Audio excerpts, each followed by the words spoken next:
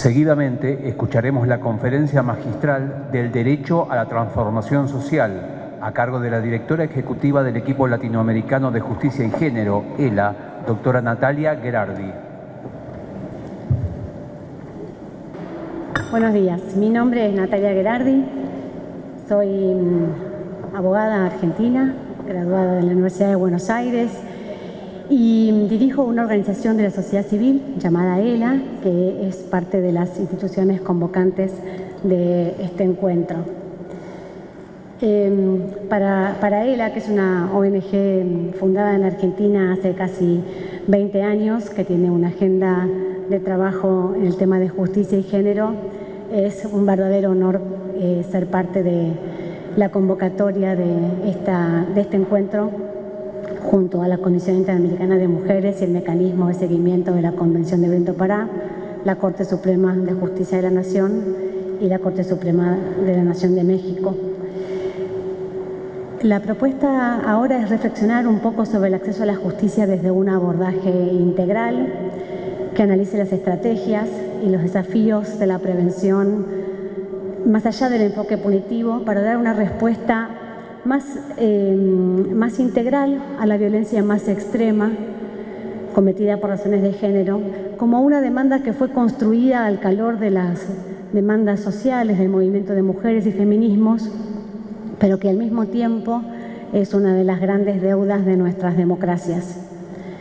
Las violencias que se producen y se reproducen en ámbitos públicos y privados sabemos que impactan en la vida, la salud, el bienestar, la dignidad de las mujeres en toda su diversidad. Mujeres de diferentes edades, de distintas procedencias y niveles socioeconómicos no encuentran freno a las violencias a pesar de los avances significativos que se hicieron tanto en el derecho internacional de derechos humanos, en normas nacionales y en planes de acción. Sin embargo, pareciera que no hay freno a esas violencias extremas en diferentes ámbitos. América Latina, y lo sabemos porque lo, eh, es información que se recopila de manera periódica y se difunde de manera pública en el mecanismo de seguimiento de la Convención de Belén Pará, América Latina avanzó de manera indiscutible en la sanción de leyes, aún en las leyes integrales que avanzaron en esa segunda generación de normas que mostraron los vínculos indiscutibles entre las diferentes formas y expresiones de las violencias y el impacto que tienen esas violencias en distintas dimensiones de la autonomía de las mujeres. No solo está en juego la integridad física de las mujeres, está en juego sus posibilidades de intervenir de manera sólida y sostenida en todas las dimensiones de la vida social, política y económica. También América Latina es la región que más avanzó en la sanción de leyes para su forma más extrema, el femicidio, feminicidio. Las llamamos de maneras distintas en nuestros países y no con, desde el punto de vista jurídico sin una justificación eh, unificadora, femicidio, feminicidio. Por eso me voy a referir en algunos momentos a los dos términos o alternados a unos y otros. Ahora también lo que sabemos a partir del trabajo de la evaluación regional que propone, que, lleva adelante el MESECVI, es que la efectividad de las medidas que se realizaron es fuertemente cuestionada. Lo identificó claramente el tercer informe hemisférico publicado en 2018 y se está evaluando actualmente en el marco de la cuarta ronda de evaluación. Ahora, el fenómeno de los femicidios preocupa por su persistencia. En los últimos 10 años ha habido esfuerzos de gobiernos, de la comunidad internacional, construcción de conocimiento desde la academia, desde el movimiento de mujeres, estrategias desplegadas y sin embargo siguen enfrentando enormes desafíos. Se reformó la legislación de casi 20 países incorporando esta figura de femicidio, feminicidio en la región, en un proceso interesante que promovió de producción latinoamericana, ¿no? de producción académica y feminista latinoamericana. La tendencia ampliamente mayoritaria es por la creación de tipos penales específicos y una tendencia minoritaria, pero todavía existente, por ejemplo, representada en Argentina, con eh, la figura de un agravante del homicidio, descrito de diferentes formas. Patsili Toledo, una académica feminista, dice que la tipificación de estas figuras constituye la manifestación en el ámbito jurídico penal de un proceso que ha tenido por objeto hacer política y socialmente visible el fenómeno de los homicidios de mujeres y su vínculo con la discriminación estructural que las afecta. Discriminación estructural que impacta en todas las dimensiones de la vida y que se expresa de formas variadas, incluyendo la injusta organización social del cuidado que sobrecarga a las mujeres, sobre todo a las mujeres más pobres, y que limita su participación en la vida social, política y económica, como se analizó extensamente durante el transcurso de la Conferencia Regional de la Mujer de América Latina y el Caribe, celebrada en Buenos Aires hace pocos días. En ese contexto de desigualdad estructural, y a pesar del enorme consenso social reunido detrás de la condena y la necesidad de prevenir los femicidios, las reformas legales encuentran hoy enormes dificultades para su aplicación. De alguna manera, el cuestionamiento que tuvieron estas figuras de femicidio, feminicidio, cuando empezaron a, a promover su sanción en nuestra región, desde el ámbito jurídico penal, esas objeciones encuentran hoy su reflejo en las dificultades para su interpretación y aplicación para casos concretos. A pesar de que hay países con normas de hace más de 10 años, hay pocas investigaciones que hayan avanzado en la evaluación comparada sobre su efectiva aplicación en los poderes judiciales. La evidencia muestra que hay mucho, un grado importante de impunidad en la investigación y en la sanción de las responsabilidades y además las dificultades para avanzar en la interpretación y aplicación de las figuras de femicidio, en cierta manera es ilustrativa de los problemas, de las deficiencias, de las faltas en la formación de quienes integran los poderes judiciales y los ministerios públicos y se expresa en la aplicación sostenida de estereotipos con las que muchas veces actúan los órganos de administración de justicia. En el marco de la iniciativa Spotlight, de la que participaron muchos países de la región y América Latina en su conjunto, tuve la oportunidad de dirigir una investigación que se propuso analizar cuáles son las condiciones que habilitan o que facilitan la aplicación de las normas penales destinadas a la investigación, persecución, sanción y eventualmente reparación de esta forma particular de violencia letal. El estudio, cuyos resultados principales voy a compartir hoy, propuso conocer cuáles sean las limitaciones y los desafíos del tipo penal específicamente en cuatro países de la región, Argentina, Bolivia, Chile y Colombia, a partir de la revisión de algunas sentencias ilustrativas, no representativas, de ciertos casos paradigmáticos recientes en estos países. Vimos que la legislación vigente en estos países tenía algunas características que lo hacían interesantes, tenían por lo menos cinco años de vigencia, eh, en sus inicios uno había optado por la figura penal autónoma, el caso de Bolivia, y los otros tres por tipos penales eh, agravados. Y sin embargo, más recientemente, Colombia en el 2015, Chile en el 2020, optó por dejar eh, la estrategia de la, figura agravada y pasar al tipo penal específico. Más allá del enfoque seleccionado en esos cuatro países, hay algunas consideraciones generales que quería compartir de manera previa a partir del análisis que hicimos respecto de todos los países de América Latina. Uno, de la actualización normativa de femicidios y femicidios y la construcción de tablas descriptivas, vimos que la forma en que regulan los países de la región los femicidios, feminicidios, incluyen una perspectiva interseccional en el tipo penal o en el agravante. Por ejemplo, incluyen la aplicación de características como socioeconómicas, discapacidad, condición migrante, raza, etnia, diversidad de género.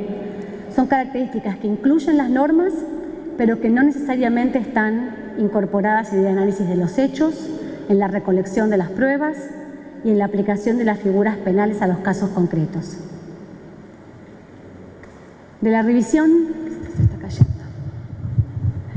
de la revisión de datos cuantitativos a partir del análisis de los registros de femicidios, feminicidios, un ejemplo del cual es el de la Argentina que acaban de presentar, pero analizándolo tal como están reunidos en el Observatorio de Igualdad de Género de la CEPAL, identificamos que las fuentes de información, los actores responsables de estos registros son distintos y que en general muestran una ausencia de un análisis interseccional de los datos recabados.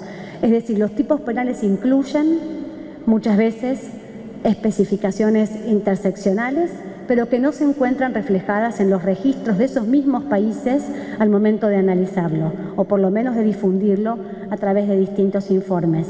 Entonces ahí se pierde una oportunidad para profundizar el análisis de cara a la construcción de una política pública más enfocada en la problemática y sus dimensiones. En términos generales, por supuesto, hay algunos pocos ejemplos diferenciales. El de Argentina es uno de ellos, que crecientemente, no desde el inicio, pero de manera creciente en los últimos años, fue incorporando esa perspectiva interseccional en el análisis de los datos. Eso lleva también a pensar cuál es el objetivo de los registros. No es solamente las ganas de saber, la voluntad de conocer, es hacer algo con esa información. Para hacer lo mejor posible con esa información, tiene que tener la mayor precisión posible y el mayor detalle disponible. Después, a partir de la caracterización de los sistemas de justicia de la región, pudimos analizar el rol de los ministerios públicos en las políticas de investigación y abordaje judicial de los femicidios, feminicidios y el potencial que tienen muchas oficinas especializadas para incorporar una perspectiva de interseccionalidad, apoyando con patrocinio jurídico a la querella y el impacto de la formación voluntaria o eh, obligatoria para agentes judiciales. Finalmente, enfocamos el análisis cualitativo, como les decía, en una selección de casos a analizar a partir de las sentencias. Los criterios para esa selección incluyeron la trascendencia pública del caso, la accesibilidad al texto completo de la sentencia, cosa que tampoco es todavía una generalidad en todos los países de la región, la fundamentación y la exhaustividad de la evaluación de la figura del tipo penal, el uso o no de estándares internacionales de derechos humanos en la investigación, consideramos el análisis de las pruebas en la fundamentación de la sentencia, el involucramiento de la familia y otras organizaciones y activistas para impulsar la investigación y sanción. Esos fueron los criterios que consideramos al momento de elegir cuáles casos ilustrativos usaríamos para este análisis cualitativo de la aplicación de los femicidios en estos cuatro países. Entonces quiero compartir ahora esos, los principales resultados de esa investigación que se encuentra publicada entre los documentos elaborados por los estudios de la Oficina del Programa de Naciones Unidas Regional eh, y que fueron elaborados en el marco de la iniciativa Spotlight. Primero, los avances en la regulación del femicidio muestra que se trata de un tema que está presente en la agenda pública. Hubo décadas de trabajo para llegar hasta allí y finalmente se consolidó un movimiento social amplio que comenzó a reconocer no solamente la gravedad de estos crímenes de violencia extrema, sino también los vínculos profundos que existen entre esa violencia extrema y las condiciones estructurales de discriminación y de violencias que impacta de manera desproporcionada y brutal en las vidas y en la dignidad de mujeres y niñas en toda su diversidad. Como les decía, en los últimos 10 años casi 20 países de la región aprobaron esta legislación y sin embargo lo que se muestran los datos es que los femicidios no disminuyen, por lo menos no al ritmo en que crece el involucramiento de instituciones, de políticas, de financiamiento para abordar este fenómeno. Al mismo tiempo, mientras se avanza en la creación de institucionalidad, se empieza a dedicar presupuesto, también esos avances corren riesgos si no mostramos resultados y sobre esto voy a volver después. La información que reúne el Observatorio de Igualdad de Género de la CEPAL da cuenta de los datos estadísticos que se producen, de las fuentes de información publicadas, de la importancia de contar con leyes para promover la existencia de registros, pero que no es necesario contar con una ley específica para contar con un registro. Y el ejemplo son los países del Caribe angloparlante, que informan la cantidad de femicidios, pero que no tienen, no tomaron esa opción de regulación penal. Entonces, una cosa no necesariamente es condición para la otra, aunque se contribuyan entre sí. La necesidad de articular una mirada interseccional en las políticas públicas se vincula con la importancia de contar con esos datos. Los registros e informes que permiten ilustrar la forma en que las variables de edad, de origen migratorio, lugar de residencia, situación de discapacidad orientación sexual, identidad de género, son relevantes al momento de analizar características individuales y estructurales de las víctimas. Estas características que están presentes en las leyes, que a veces se reflejan en los registros, no necesariamente se transmiten al momento de analizar las eh, pruebas, construir los casos y evaluarlos en las sentencias judiciales. En la transición hacia marcos normativos cada vez más sólidos y más integrales, esta tendencia de leyes de segunda generación que avanza en la creación de, normas integrales para la protección de todas las formas de violencia contra la mujer, encontramos también un vínculo y una, eh, un, vínculo de, de colaboración y de articulación interesante. De los países de la región que han regulado los femicidios, 13 cuentan con leyes integrales y 3 se encuentran encaminados a su aprobación. Segundo hallazgo. El Poder Judicial ha respondido con el fortalecimiento de los sistemas procesales y guías de actuación para la investigación y sanción de los femicidios feminicidios. La jurisprudencia que interpreta y aplica las figuras permite ilustrar los desafíos que todavía enfrenta el sistema de justicia. Algunos de estos desafíos se vinculan con la formación de quienes integran los órganos de administración de justicia, expresado en estereotipos, pero también en las reglas propias del sistema a partir del cual se van delineando los procesos judiciales. ¿Qué implicancia tiene el sistema procesal para la investigación de los femicidios, feminicidios? ¿En qué medida incorporar un nuevo paradigma en la investigación y la conducción de los procesos puede acercar el acceso a la justicia para las víctimas y sus familias. Si bien la respuesta claramente no es unívoca, sí pudimos ver que los procesos penales de tipo adversarial, acusatorio, contribuyen a generar una arquitectura institucional en la que la especialización del Ministerio Público también puede permitir enfocar algunos esfuerzos investigativos desde una perspectiva de género. Además, por la naturaleza propia de los ministerios públicos, la creciente incorporación de mujeres en esas fiscalías, con poder de decisión, promoviendo cambios hacia el interior de estructuras de poder, también contribuyeron a generar herramientas para que la perspectiva de género se transmita en el ejercicio de la función investigativa de los ministerios públicos y las fiscalías con instrucciones de carácter general, lineamientos sobre cómo conducir investigaciones, hay pautas de actuación que deben observar. Hay una proliferación de protocolos que se encuentran en diferentes países de la región, contamos 15 al momento de la investigación, en ocasiones, y como lo mencionaba creo la, magistrada de México, con demasiados, muchos en un solo país. ese fraccionamiento al interior tiene que ver también con la, con la estructura de los poderes judiciales y las entidades federativas de nuestros países, de repente también pueden contribuir a mayor complejidad en lugar de facilitar reglas claras, precisas eh, y obligatorias para la investigación.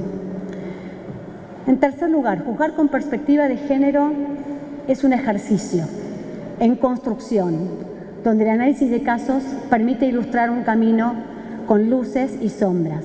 Hay uno de los riesgos que mencionaba hoy más temprano la jueza Ivana Bloch en, la pregunta hacia uno de los paneles anteriores. El riesgo es la banalización de la idea, de la perspectiva de género, vaciarla de contenido a fuerza de repetirla sin dotarla de un contenido preciso, sin entender cómo se aplica en cada momento. Frente a la amplitud de las respuestas desplegadas en la región es importante analizar cuál ha sido el impacto real de esas reformas legislativas y el de las reformas estructurales y procedimentales en términos de la facilitación de la adecuada respuesta penal, en la investigación, en la evaluación de las pruebas, en el acompañamiento de las víctimas y en, la sanción de los perpetradores. El análisis que hicimos de esa cantidad limitada de casos paradigmáticos y la revisión de argumentos permite analizar cómo impactaron esas normas en las víctimas directas e indirectas y cómo se puede construir una mirada crítica de la forma en que las promesas normativas se llevan a la práctica. Y además buscamos analizar en ese ejercicio de análisis cuáles fueron las condiciones que facilitaron u obstruyeron las posibilidades concretas de avanzar en la garantía de acceso a la justicia. Como les decía, es un ejercicio de aproximación cualitativo que procura ilustrar esas dificultades y que no hay duda deberíamos profundizar en todos los países y de manera sostenida. La obligación de jugar con perspectiva de género es un ejercicio, es parte de, esa, em, de la concepción del, del derecho como una práctica argumentativa y es también un ejercicio de deconstrucción que permite detectar espacios de desigualdad formal, material, estructural, que todavía impacta en las mujeres, en toda su diversidad y en personas atravesadas por diversos factores y circunstancias, comprendiendo no solamente el concepto de género, sino, como también se dijo reiteradamente hoy, desde un enfoque de interseccionalidad. No es lo mismo ser mujer que mujer con discapacidad, mujer indígena, rural, urbana, profesional, pobre, em, travesti, trans, las diferentes características que nos intersectan como personas también impactan en nuestro derecho de acceso a la justicia. En primer lugar, se trata de analizar, analizamos la interpretación de la figura del femicidio, feminicidio, a partir de las características propias del tipo penal. Y ahí vimos claramente cómo los elementos incluidos en el tipo penal y los requisitos que se incluyen para su caracterización son relevantes el momento de encuadrar la conducta del tipo penal. Ahora, las sentencias que vimos muestran también debates que se presentan de manera recurrente en los tribunales. ¿Cómo se interpreta el concepto de pareja? En algunos casos se busca asimilar em, la pareja de una manera extremadamente limitada a las uniones matrimoniales, incluyendo condiciones que las leyes no establecen, como requisitos de tiempo, de publicidad de la relación, estabilidad, singularidad de la pareja, en lugar de reconocer los vínculos de confianza de otra naturaleza, que debe dar lugar a estándares de protección agravadas y que establece la figura del femicidio-feminicidio. En otro orden, la interpretación del concepto de violencia de género, incluido en muchos de estos tipos penales, el contexto y las características de la violencia ejercida por el agresor como determinantes para esa justicia penal. También eso es motivo de debate en los tribunales y eso muestra la forma limitada en que la producción académica feminista llega a la justicia. Otra manera de mirarlo también muestra la forma limitada en que las mujeres feministas llegan a los espacios de decisión en la justicia. Dado que se trata de un tipo penal pluriofensivo, es central analizar la manera contextualizada de los hechos que llevan a un femicidio, en particular teniendo en cuenta la diversidad de bienes jurídicos a que hacen referencia la figura del tipo penal. Por ejemplo, en el caso de Bolivia, incluye características vinculadas con la subordinación, el estado de embarazo, el contexto de vulnerabilidad, entre otros que contribuyen a explicar el contexto en el que se enmarcan los femicidios. Y eso también lleva a otro de los comentarios que se hizo más temprano respecto de la prueba sociológica ¿no? y cómo hay que integrar en el, proceso de juzgar con perspectiva de género es imprescindible integrar otras miradas interdisciplinarias. Luego analizamos la satisfacción del deber de debida diligencia en las investigaciones, que constituye, como sabemos, un estándar fundamental en el cumplimiento de la garantía de los estados de promover vidas libres de violencias. Y ahí vimos que los casos muestran la necesidad de considerar hechos y circunstancias que rodean el caso, la situación particular de vulnerabilidad en que se encontraba la víctima, con un análisis contextualizado e integral de las pruebas reunidas en el marco de los estándares establecidos en las leyes integrales de protección a partir de una lectura comprensiva del fenómeno de las violencias por motivos de género. Además, la debida diligencia en la investigación lleva a aplicar un análisis enmarcado en el conocimiento del bagaje teórico desarrollado por la doctrina feminista y de derechos humanos, analizando las desigualdades de género estructurales que existen y no limitarse a identificar desigualdades, sino contribuir a transformarlas.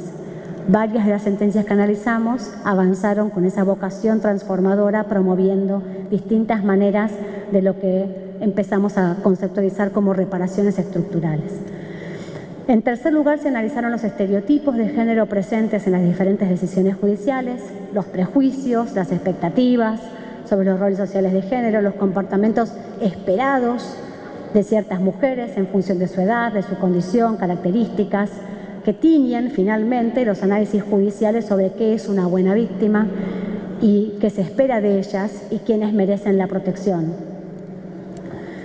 En cuarto lugar, se analizaron algunos casos de transfemicidio y travesticidio en la justicia, incorporando una perspectiva de interseccionalidad en torno a las violencias agravadas por odio de género hacia el colectivo travesti trans y considerando la situación de desigualdad estructural y violencias institucionales que atraviesan sus vidas. En ese, en ese mm, análisis, el caso paradigmático seleccionado de Argentina ofrece la posibilidad de mostrar el avance que se logró gracias a la lucha colectiva, no solamente en términos de no impunidad, sino también avanzando en medidas de reparación y no repetición, en relación con ciertas conductas judiciales que resultan revictimizantes para los activistas y organizaciones integradas por el colectivo travesti trans, que están más habituadas a interactuar con el sistema judicial como perseguidas, antes que protagonistas que reclaman protección y acceso a la justicia. Este caso, el caso del travesticidio de Diana Zacayán, una activista del colectivo travesti trans en Argentina, allí el Tribunal Oral acordó con la querella, personas de las familias de la víctima y allegadas, modos de nombrar, de organizar los espacios, y de garantizar la participación a lo largo del proceso que no fueran revictimizantes. Ese repositorio de buenas prácticas constituye un aprendizaje institucional sumamente valioso para el futuro. A lo largo de la investigación fue posible identificar algunas prácticas promisorias que se revelan como facilitadoras de la aplicación adecuada de las normas y superación de estereotipos de género con una perspectiva interseccional. La existencia de fiscalías especializadas con recursos técnicos, humanos e institucionales adecuados y suficientes que puedan intervenir de manera temprana y sostenida en procesos paradigmáticos en los que se investiga desde una perspectiva de género interseccionalidad. El caso de la UFM en Argentina es un ejemplo de eso. Ahora, una pequeña señal de, de cuidado, digamos allí que se promueva la existencia de lugares especializados no desresponsabiliza ni quita la obligatoriedad de todo el resto del sistema de administración de justicia de incorporar también esos estándares de perspectiva de género e interseccionalidad. Segunda práctica promisoria encontrada, la existencia y aplicación efectiva de guías de actuación o protocolos para investigar los femicidios con una perspectiva de género interseccional también es central. El caso que analizamos de Bogotá también es un ejemplo en ese sentido. Pero noten que hablamos de existencia y aplicación. La existencia sola no transforma la realidad. Necesita conocerse, difundirse y aplicarse. Y aplicarse, y para ello, tercer recomendación, tercer práctica promisoria, garantizar de manera extendida las capacitaciones en violencia de género e igualdad, como estableció Argentina, por ejemplo, con la ley Micaela. La ley Micaela podríamos decir que es una forma de reparación estructural también que em, siguió, que impulsó la familia de una joven víctima de femicidio, que se aprobó como una ley en el año 2018 y que requiere la capacitación obligatoria de todos los agentes del Estado, de los tres poderes del Estado, en todos los niveles de gobierno. Si bien la ley es relativamente reciente y los procesos de formación están en desarrollo, el potencial de ese espacio de capacitación, que tiene que ser continua y que tiene que evaluarse en su, en su impacto, es eh, algo interesante para considerar en otras regiones, en otras partes de la región. La generación de mecanismos que permitan la participación activa de las víctimas a lo largo del proceso de investigación, con normas específicas de derechos de las víctimas o incorporando sus estándares en los marcos de procesos penales, también es una práctica promisoria. Así lo son lo mismo los mecanismos de participación ciudadana en el monitoreo social de los casos, de modo de contribuir a la transparencia en la aplicación de las normas, el seguimiento de los procesos, la exigibilidad de rendición de cuentas, y la responsabilización frente a las decisiones contrarias a los estándares internacionales de derechos humanos. No puede ser lo mismo aplicar las normas correctamente que no hacerla. Para eso la producción de información pública de calidad y acceso abierto es fundamental para facilitar esos procesos de monitoreo y evaluación por parte de sociedad civil, academia, periodismo y la sociedad en su conjunto. Para concluir, algunas de las recomendaciones que surgen del estudio. Recomendaciones para los estados, para mejorar el acceso a la justicia. Primero, garantizar la producción periódica de información pública de calidad, sistematizada, de acceso abierto, con análisis interseccional que permita una mejor formulación, monitoreo y evaluación de las políticas públicas para la prevención, investigación y sanción de los femicidios. Segundo, establecer mecanismos transparentes de rendición de cuentas respecto del trabajo de los ministerios públicos y del Poder Judicial con posibilidades de participación ciudadana y esto facilita las garantías de no repetición a partir de acciones de exigibilidad promovidas de diferentes espacios. Tercero, garantizar la publicación de todas las sentencias en bases de datos, otra vez, públicas, protegiendo la confidencialidad de la identidad de las personas involucradas y con resguardo de sus datos personales. Cuarto, promover la sanción y la aplicación de eh, efectiva de legislación que establezca la obligatoriedad de las capacitaciones, incluyendo, como decía antes, mecanismos para evaluar el impacto de esas capacitaciones, que permitan ir profundizando el nivel de esa formación y no dejarla siempre en un nivel inicial, que a nadie le hace daño, pero muchos necesitan más que eso. Garantizar el financiamiento adecuado de las instituciones creadas para promover la aplicación de una perspectiva de género en el ámbito del sistema de administración de justicia y promover el trabajo interdisciplinario desde esos espacios, que puede luego permear a toda la actuación del Ministerio de Justicia, del sistema de justicia, asegurando recursos técnicos, humanos, institucionales adecuados y aplicación amplia en los territorios. Demasiado a menudo encontramos estos esfuerzos más desarrollados en las grandes ciudades capitales y mucho menos distribuidas en el territorio de nuestros países. Recomendaciones para promover la participación de las víctimas y sus familias. Garantizar el acceso a la justicia a través de patrocinio jurídico gratuito para las víctimas, sobrevivientes y sus familias, de modo que se puedan constituir como querellantes en los procesos penales o que puedan impulsar otras causas vinculadas con el femicidio, feminicidio en otros fueros, por ejemplo, procesos civiles o procesos de familia esto va a la integralidad de la respuesta que debe garantizar el Estado. Esto va a promover una forma de reparación adecuada que pueda ser expresada como tal por la víctima y sus allegadas, adecuada a sus circunstancias y situaciones concretas. En segundo lugar, sancionar normas destinadas a reparar la vulneración de derechos de las víctimas con apoyo económico, contención psicológica y otros remedios que pudieran ser adecuados. Avanzar en la sanción de estas normas y garantizar su aplicación. Establecer políticas integrales de acompañamiento jurídico, psicológico y social, atendiendo a los diversos factores de discriminaciones múltiples que atraviesan las víctimas y sus familias. Esto requiere más que el trabajo del Poder Judicial. Requiere el trabajo de articulación con las políticas públicas a cargo de otros poderes del Estado.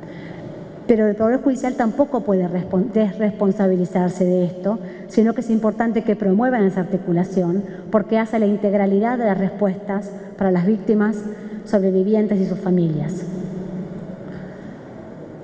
Procurar acercar la información y trabajar de manera conjunta con las familias y de cara a la sociedad, para lo cual es preciso avanzar en la utilización del lenguaje llano, en la causa y en el marco de la investigación, de modo de no intensificar el miedo y la desconfianza que muchas veces las personas tienen sobre la justicia y contribuye a fortalecer las barreras de acceso a la justicia. Finalmente, recomendaciones para promover la participación civil y de la academia. Promovamos estudios de seguimiento y evaluación del impacto de las reformas normativas implementadas, incluyendo la evaluación del trabajo llevado adelante por las instituciones creadas para trabajar con perspectiva de género e interseccionalidad en la justicia. Incidir en la producción teórica con la que se capacita a integrantes de ministerios públicos y poderes judiciales y en la doctrina que se cita en las sentencias.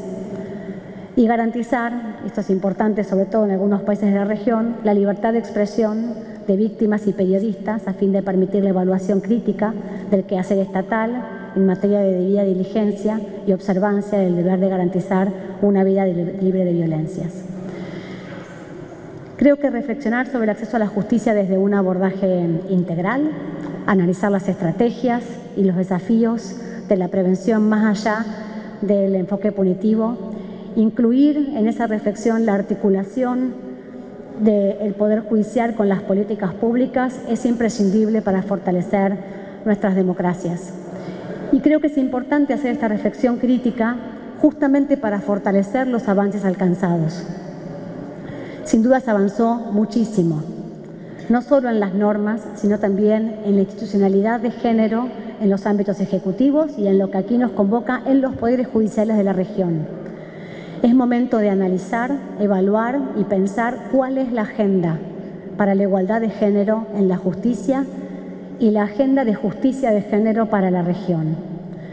En un momento en el que toman volumen las voces que cuestionan la igualdad de género como estrategia central para el desarrollo, que cuestionan la relevancia y la urgencia de esta agenda, que proponen responder a las crisis financieras con recortes que impactan en la institucionalidad de género y en las políticas dedicadas a promover la igualdad, es momento de analizar críticamente los avances para fortalecer los logros y para pensar en el futuro. Porque claramente no hay democracia sin vidas libres de violencia. Muchas gracias. Abrimos entonces una instancia de preguntas. Eh, ¿quién, quién, quién, quién, quién se anima? ¿Qué tal? Buen día. Eh, muy buena exposición, primeramente, me felicito. Si bien no abordó o no fue en profundidad con el tema de las medidas que tienen que ver como las medidas que se toman para prevenir, sancionar y erradicar eh, la violencia contra la mujer en cuanto eh, al agresor. Hablamos mucho sobre medidas para evitar, para combatir y para erradicar la violencia contra la mujer, pero siempre pensando en la víctima. Eh, y no tanto pensando en el agresor una vez que ya ocurren hechos de violencia. Yo soy jueza de tribunal penal y a mí me llegan los casos cuando ya ocurrió un hecho y ya tengo a una persona imputada por un, puede ser un femicidio, puede ser un femicidio en grado de tentativa u otro hecho en donde existen eh, violencia, violencia contra la mujer, violencia de género.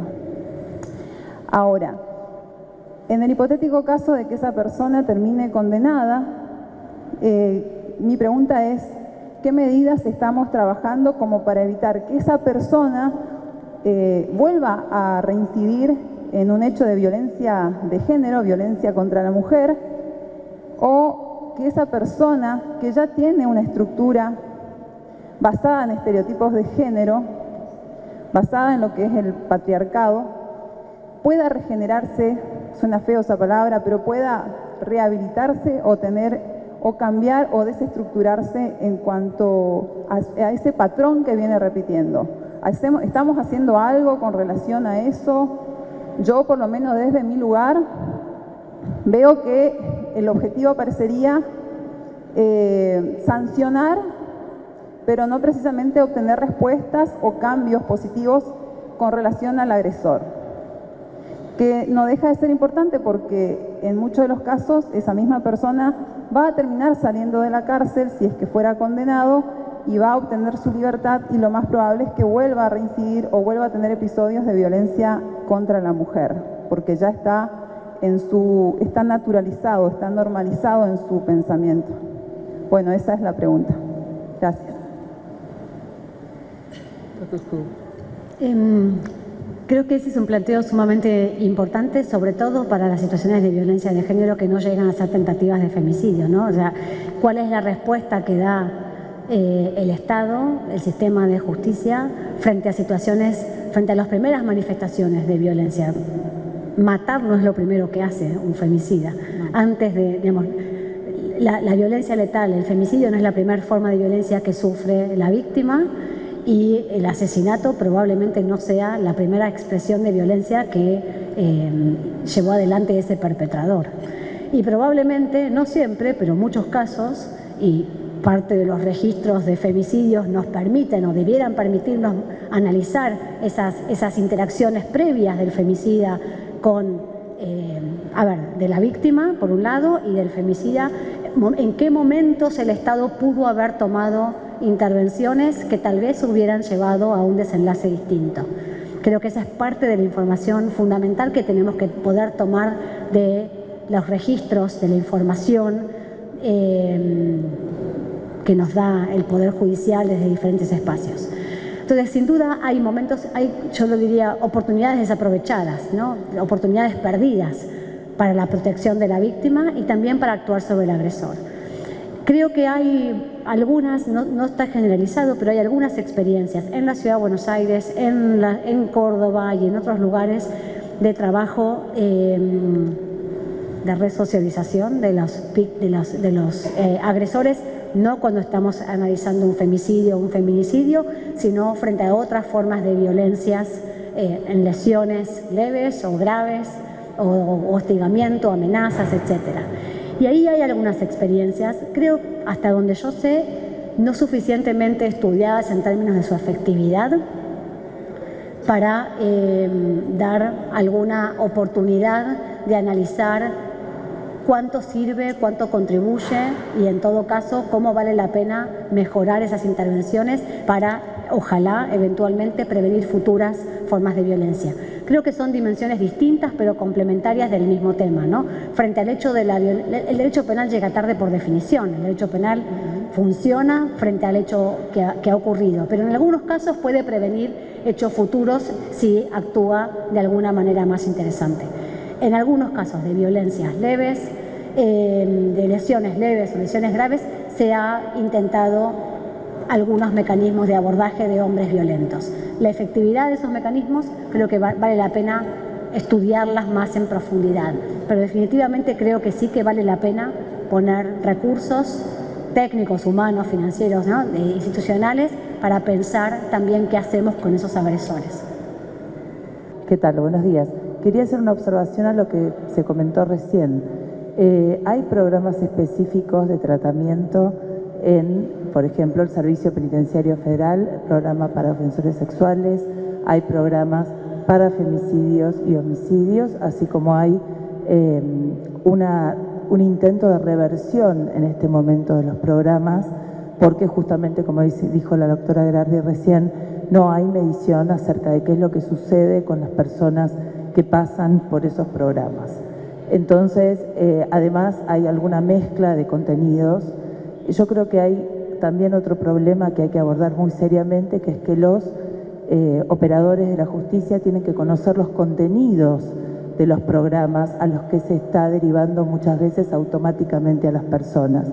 No todos los programas apuntan a lo mismo, no hay, hay distintos grados de conflictividad y sería muy interesante que nos interesáramos mucho más en saber cómo se llevan adelante esos programas, como nos ocurrió a nosotros, por ejemplo, con un caso, y lo cuento rapidísimo, de un, este, un caso que yo tenía en el juzgado de ejecución, en el que la persona había sido derivada de un programa que, que nadie sabía que se hacía vía WhatsApp. Era un programa del gobierno de la ciudad, eran 28 encuentros en donde la persona tenía que escribir todos los lunes por WhatsApp distintas actividades y tenía mucha dificultad con la escritura. Entonces, eh, estas cosas pareciera que porque hay un programa y tiene un nombre y uno puede derivarlo, eso es suficiente. Me parece que hay que poner un poco el, objetivo en eso. Nada más. Gracias, sí. También no desestimemos lo que no sabemos cómo funciona, solo porque lo desconocemos, ¿no? O sea, creo que eh, parte de esta invitación a mirar críticamente los avances también es evaluarlos de manera sistemática eh, para mejorarlos o desecharlos, pero sobre la base de la evidencia y no de los preconceptos. Dale, tenemos allá atrás. Espera que primero está, o bueno, lo mismo. Primero estaba ella. Gracias, hola, buen día. Eh, en sintonía con las recomendaciones que se mencionaban anteriormente y con el potencial de la ley Micaela, que también se nombró, este año hace poco se elaboró a partir de algunas organizaciones feministas y la Fundación Micaela un relevamiento de cómo se está aplicando la ley Micaela precisamente en los poderes judiciales del país. a través de pedidos de acceso a la información pública. Y mm, entre las conclusiones fue primero que hay poca información pública disponible, también en sintonía con lo que mencionaban de transparentar el funcionamiento de los poderes judiciales, y a su vez que hay eh, poca implementación efectiva de la ley en los poderes judiciales, de la ley Micaela en los poderes judiciales de la Nación. ¿Qué acciones o estrategias efectivas hay para que se, se confirmen y se realicen estas capacitaciones y actualizaciones de capacitaciones como mencionaban recién y que también haya información disponible con esto que mencionaban de la importancia de la calidad y de la variedad de la información. ¿Qué estrategias se pueden implementar para que efectivamente eso empiece a ocurrir y para que esta ley esta figura tan importante que ya existe se empiece a implementar a nivel nacional en los poderes judiciales? ¿Querés contestar vos? Sí, Sí, no sé. Bueno, lo que, que era ella yo. mencionó, no, no. Espera, ¿escuchaste yo- o sí, le pedimos que- ¿Sí? Ah, Sí. perfecto, dale. dale, dale. Bueno, reitero o re- re- eh, repito la pregunta para quien no pudo escuchar tal vez. Em, consultaba acerca de la aplicación efectiva de la ley Micaela en los poderes judiciales de la Argentina. Em, esta ley Micaela de aplicación obligatoria tiene que eh, implementarse en todos los poderes del Estado, en todas las jurisdicciones. Y dentro del Poder Judicial, cada Poder Judicial organiza la forma en que se aplica. Y hubo un relevamiento que refería recién la colega sobre eh, el grado de, avance en la aplicación efectiva de la ley Micaela en diferentes poderes judiciales. Y fue un relevamiento que hicieron algunas organizaciones de sociedad civil, incluyendo la Asociación Civil Micaela, eh, construida sobre la base de pedidos de acceso a información pública, si recuerdo bien, y sus respuestas. Uno de los hallazgos o de las, de las conclusiones de esa información fue que pocos respondieron el pedido de acceso a información pública, dos, que esa información no estaba, no era, no era muy clara y no estaba disponible, entonces preguntaba acerca de qué estrategias se pueden dar para la exigibilidad de esa, eh, del cumplimiento de esa norma. Y yo pensaba que tal vez vos podías contar lo que hacen de la Oficina de la Mujer, que tienen esa información relevada de las capacitaciones. Vos decís el, el impacto. No, lo que hicieron, bueno, a bueno, ver. sí. Estamos- a ustedes, sí. No, no, pero antes. Después digo, em, yo creo que, se- a ver, para, para responder a tu pregunta, en mi opinión es parte de, la- de las estrategias de exigibilidad de las normas que tenemos que ejercitar en Argentina en general. ¿no? En Argentina en general hay poco cumplimiento de las normas que se sancionan, por eso hice énfasis más de una vez en, se trata de, eh, de sancionar la norma y garantizar su aplicación. ¿Cómo garantizamos la aplicación de las normas si eso debiera ser parte de la descripción de obligaciones concretas y claras de cualquier funcionario o funcionaria pública? sin duda del Poder Judicial como garante último de la aplicación de las normas. Bueno, yo creo en la participación ciudadana, en el activismo, en el monitoreo, en las acciones de exigibilidad que podamos promover desde diferentes lugares, pero también desde adentro de las propias instituciones. En la medida que haya institucionalidad de género fuerte, profesionalizada, financiada, con eh, capacidad política para exigir eso, probablemente sea un facilitador para la aplicación de esa norma en este caso concreto. ¿no? Eh, y entonces me parece que el monitoreo social y, el del activismo, pero también de la academia y de otros poderes del Estado respecto del el cumplimiento de esas obligaciones son elementos que favorecen ese cumplimiento. Para ponerlo más en, tono al diálogo regional que queremos dar en este, este espacio, bueno, mecanismos como el de, la seguimiento, como el de la Convención de Vendo para el MESECBI, periódicamente pide a los estados información acerca de cuál es el grado de cumplimiento de sus normas, programas y planes. Y en definitiva del cumplimiento con los estándares internacionales a los que se comprometieron al suscribir la Convención de Vendo para. Y hablo del MESECBI porque es lo que nos reúne, pero podríamos mencionarlo también respecto de los otros organismos de seguimiento de obligaciones de los estados en el ámbito universal de Naciones Unidas. Pero entonces el MESECBI pregunta periódicamente en los estados el grado de cumplimiento de esas obligaciones. Los estados tienen la obligación de responder brindando información de todos los poderes del Estado y la sociedad civil tenemos la oportunidad de acercar informes sombra, es decir, información alternativa con la cual las expertas del mecanismo de seguimiento puedan contrastar la voz oficial de los estados.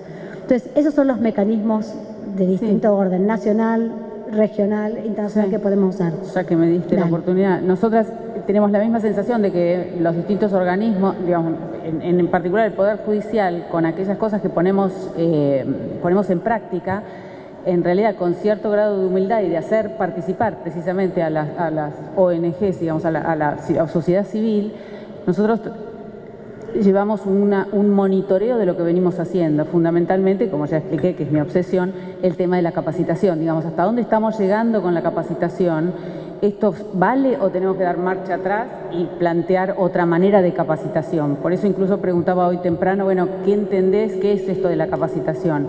Y la verdad es que nosotros nos sometimos a una, a una evaluación de impacto sobre hasta dónde habíamos llegado en las... Eh, esto, rebota un poco.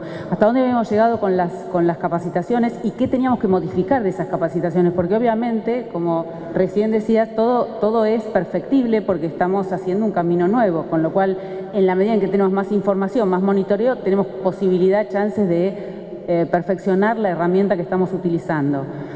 Y nosotras, bueno, insisto, le pedimos a ELA que hiciera un monitoreo, que hiciera una evaluación del impacto de las eh, capacitaciones que veníamos dando y sobre eso hicimos algún, alguna modificación en la inteligencia de que las íbamos a hacer más, eh, eh, herramientas más idóneas.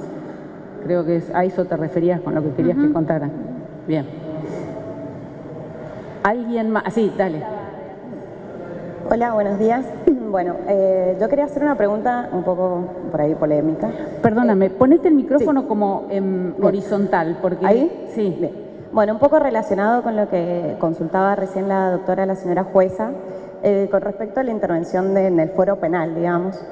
Eh, si no estaríamos desaprovechando la oportunidad a la hora de estos analizar hechos de violencia que llegan al foro penal en delitos menores como ser eh, amenazas, algunos delitos de contenido patrimonial, lesiones leves con muy pocos días, si la prohibición de, la, de, mm, de utilizar la suspensión del proceso a prueba, no estaríamos como desaprovechando algún un mecanismo que podría llegar a ser eficiente y eficaz para que el Estado pueda intervenir en esas primeras manifestaciones de violencia.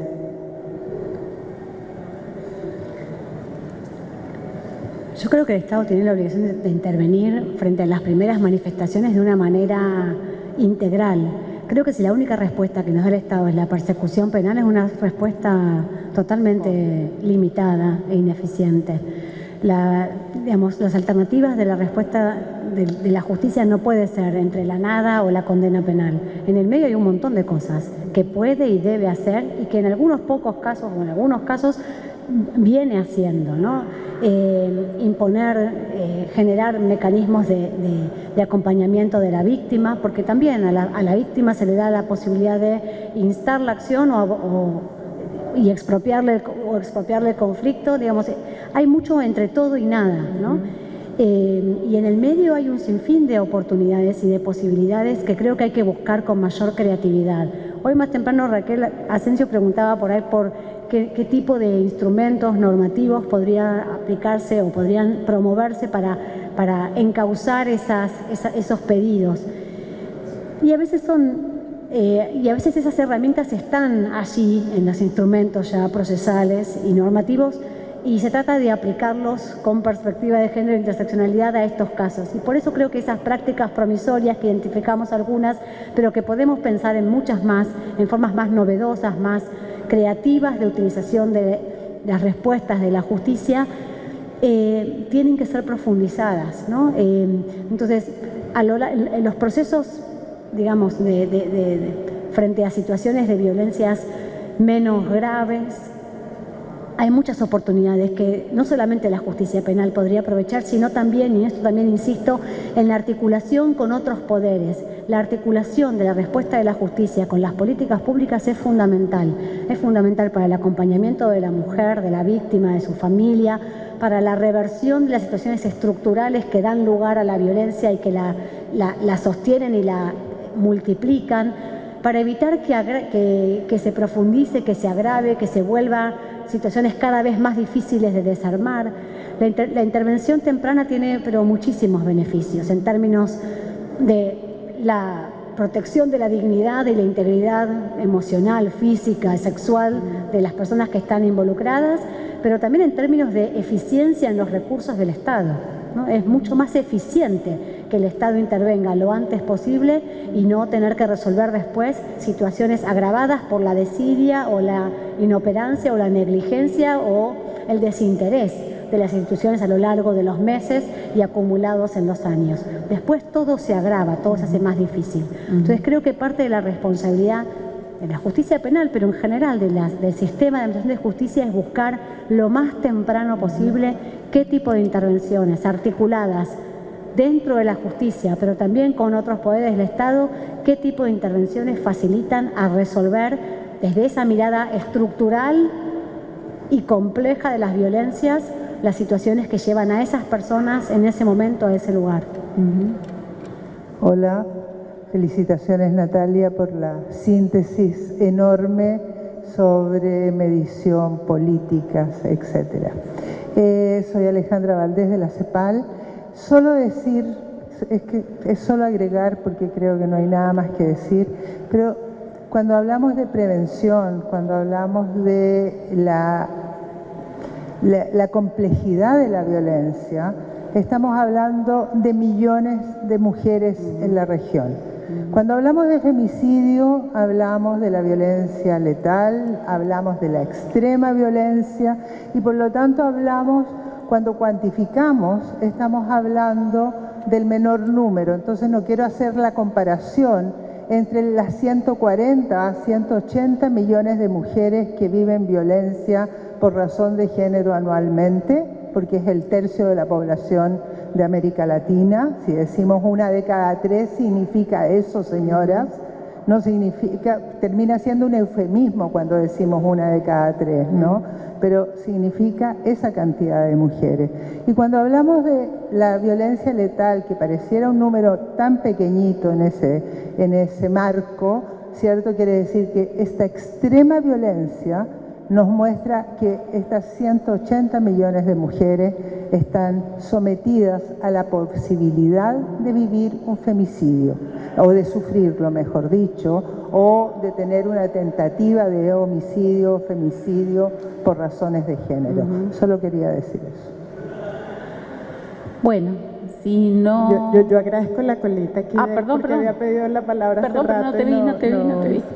No, también a propósito de lo que comentábamos antes de los registros y de cómo visibilizar eso, bueno, parte de la razón por la que estamos aquí en este momento, soy Luz Patricia Mejía, secretaria técnica del Mecanismo de Seguimiento de la Convención de Belén do Pará, y bueno, parte del ejercicio que vamos a hacer mañana con muchas de las personas que están acá es como profundizar en cómo levantar ese registro, que queremos que se registre y que no solo queremos que se registre, porque es lo que establece la Convención en el artículo 8H, la obligación de generar información y estadística sobre las causas de la violencia y las consecuencias de esa violencia para evaluar las políticas públicas.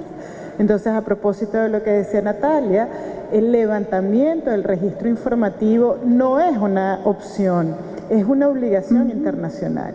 Y el ejercicio además no solo nos requiere, en el caso de femicidio, feminicidio, levantar solo información sobre el número de mujeres que mueren víctimas del femicidio, feminicidio, sino levantar información de todos los contextos previos y de todo el funcionamiento del ejercicio preventivo del Estado, cuánta gente formamos, cómo la formamos, cómo monitoreamos esa formación, cómo evaluamos para poder ajustar, que es lo que dice el artículo 8H de la Convención, sino también, bueno, cuáles otros hechos de violencia ocurrieron previos a ese momento en el que la justicia, el sistema de administración de salud no reportó, la justicia no lo vio, eh, en la sociedad nadie se dio cuenta, porque eh, em, si bien es cierto que en el caso concreto del Poder Judicial hay un levantamiento que tiene que ser específico a lo que hace el Poder Judicial, no es el único eh, órgano y poder del Estado que debe reportar información. Y por eso es tan importante ver el fenómeno del feminicidio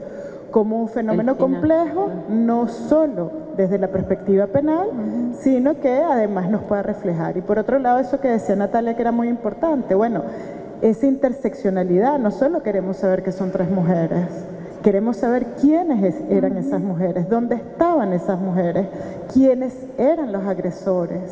¿Eran personas conocidas, eran amigos, eran familia, eran pareja, eran expareja o eran desconocidos? ¿Contra quién? ¿Quiénes, ¿Quiénes fueron esas mujeres? ¿Cuántos años tenían? ¿Dónde estaban ubicadas?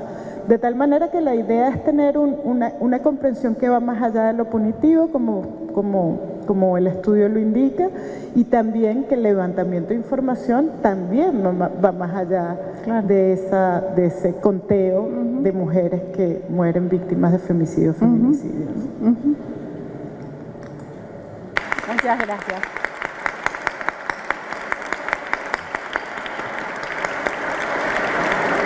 Con la exposición de la doctora Gerardi damos por finalizada esta primera parte del encuentro.